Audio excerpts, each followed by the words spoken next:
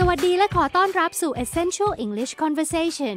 รายการที่นำเสนอบทสนทนาสำหรับผู้ที่กำลังเริ่มเรียนภาษาอังกฤษค่ะ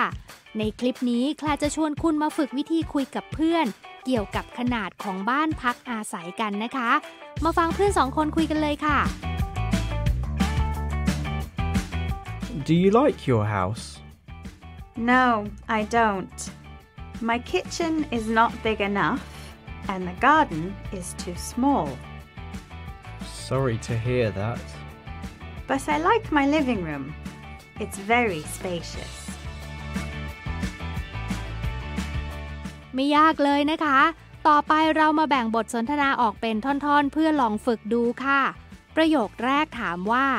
คุณชอบบ้านหลังที่อยู่ไหม ฟังและพูดตามค่ะ Do you like your house? เพื่อนตอบว่า ไม่ ฉันไม่ชอบ ฟังและพูดตามค่ะ No, I don't. จากนั้นก็ต่อด้วยคำอธิบายว่าครัวที่บ้านขนาดเล็กเกินไป โดยใช้วลี not enough ซึ่งเราสามารถเติมคำอธิบายลงไปตรงกลางได้นะคะ อย่างเช่น ไม่สูงพอ not tall enough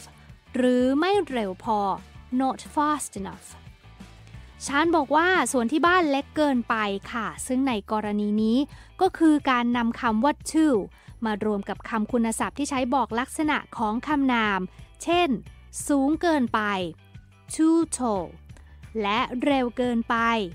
too fast เป็นต้นค่ะ ฟังและพูดตามค่ะ My kitchen is not big enough, and the garden is too small.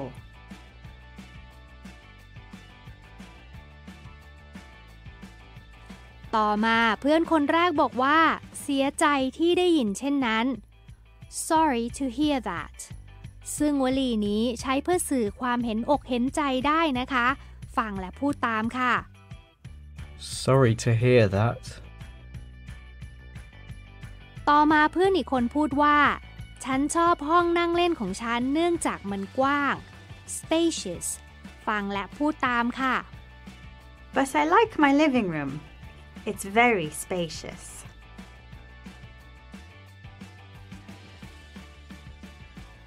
ง่ายนิดเดียวค่ะแค่นี้ก็คุยเรื่องของที่พักอาศัยเป็นภาษาอังกฤษกันได้แล้วนะคะอย่าลืมนำไปฝึกบ่อยๆกับเพื่อนโดยใช้วลี